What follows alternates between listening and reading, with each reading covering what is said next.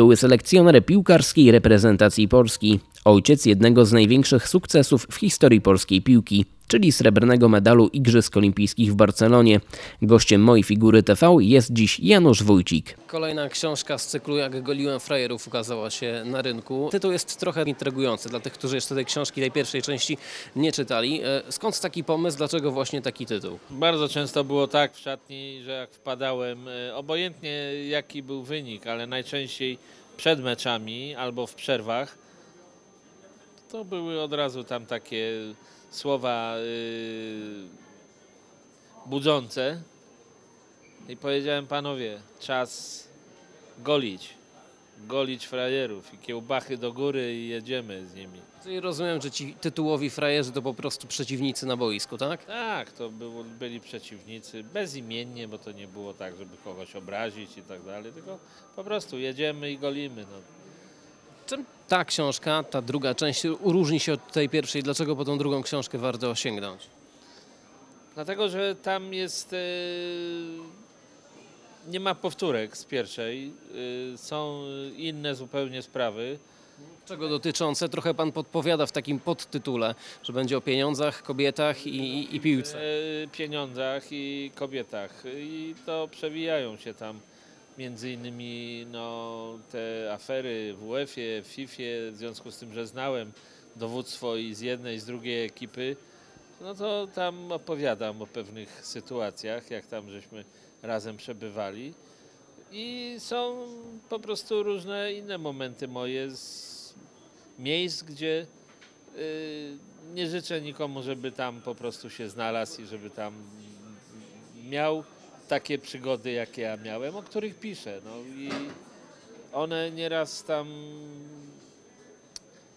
budzą nawet strach i niektórzy się zastanawiają, a, o- zastanawiają, opowiada wujo tam, ale nie opowiada, tylko taka była prawda. Ponieważ tych przygód jest kilka, to może pan chociażby naszym tutaj widzom jedną taką przygodę opowiedzieć, pokrótce streścić. No mogę tylko powiedzieć jedno.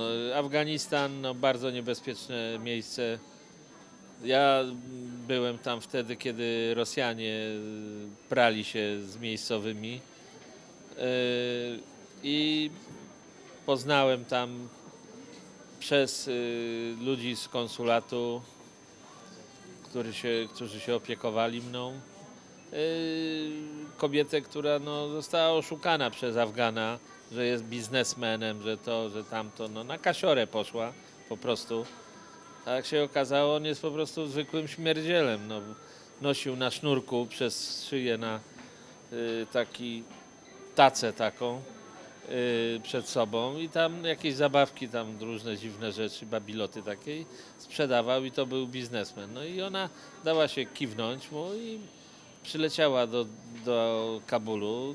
Tam jak się okazało, no to on oprócz tej tacy i tej dechy, którą nosił na, na szyi przed sobą i trzech kus, no to nic nie miał. No i, ale niestety, no, islam i ona nie miała żadnych praw, zaczęła podskakiwać, no to do pierdla ją zamknęli miejscowego, a miejscowe więzienie wygląda nie tak jak u nas, że wygoda, że, czy za granicą i zatrzaskuje się kraty. Tam nie ma krat. Tam jest wielka dziura w ziemi kształcie bombki na choinkę, wylana betonem. Po drabince spuszczają klienta albo klientkę i tam sobie siedzi tam na jakimś siedniku czy na czymś. I jest fajnie wesoło, tylko do momentu, kiedy nie zacznie padać, albo śnieg nie zacznie padać, bo to jest w górach, pamiętajmy, y, wysokich górach i nam jest zimno. I jeżeli nikt nic nie przyniesie do jedzenia, no to po prostu zdycha ktoś z głodu. No i tę kobietę żeśmy tam wyciągnęli jaką, jakimś cudem z tego piedla i później, no, czytajcie to już, co się później z nią działo dalej. No, Chciałem jeszcze do pierwszej książki mm, wrócić, bo ta książka, chociaż y, wielu czytelników po nią sięgnęło, ona cieszyła się dużym zainteresowaniem, to też wzbudziła pewne kontrowersje. Pan na spotkaniu autorskim właśnie z czytelnikami o tym wspominał. E, Dziennikarz Krzysztof Stanowski wytknął panu, że nie wszystkie historie są e, prawdziwe. Co mu pan odpowie?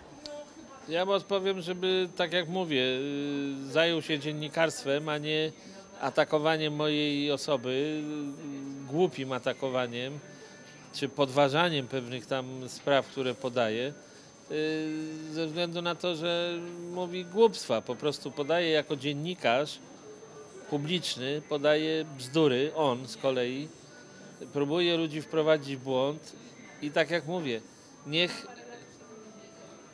radzi sobie jak może, bo po prostu, no, tak jak mówiłem na tym spotkaniu, zajmę się tym, żeby tam nim się zajęły odpowiednie ekipy, bo po prostu uprawia coś, czyli Trochę pan straszy, nie, nie obawia się pan? straszę, ja mu tylko przestrzegam przed tym, że uprawiając bukmacherkę nielegalną, yy, za to grozi wiadomo co. No i ja tylko mu przypominam o tym, bo może zapomniał, zagalopował się za daleko i teraz nie wie jak z tego wybrnąć. No. Wycofaj się człowieku z tego, bo yy, to ci nie pomoże, a wręcz odwrotnie.